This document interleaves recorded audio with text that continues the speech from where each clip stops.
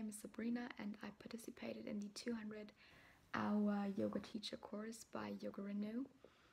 And I gotta say that I have done yoga for years now. And first it was just for like the physical aspects, like working out, staying fit. But over the time it became much more spiritual to me. And I guess that's what I wanna like pass on to other people.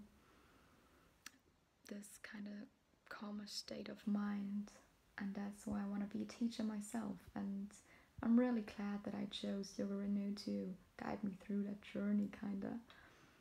Um, actually I've read a lot of positive um, reviews on the internet and it's not just that the costs are like really appropriate for an online course but I there's just so much love there. You really gotta check it out.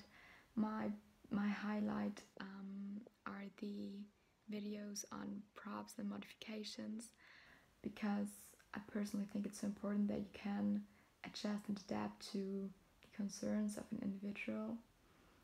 And um, that just gave me so much more confidence in in my teaching and in my own practice too.